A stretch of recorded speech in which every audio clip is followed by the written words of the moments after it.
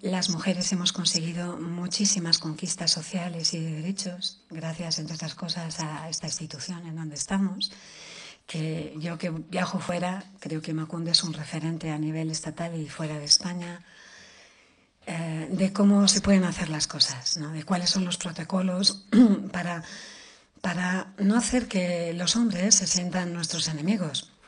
La igualdad es un tema de hombres y de mujeres y el sexismo es algo que afecta a hombres y a mujeres por igual. De hecho, creo que ser hombre hoy por hoy es una profesión de riesgo. También ser mujer, ¿eh? las mujeres morimos, pero también hay hombres que mueren por este sesgo de género. El día que eh, más hombres se den cuenta, creo que mm, la causa común será más fácil de compartir.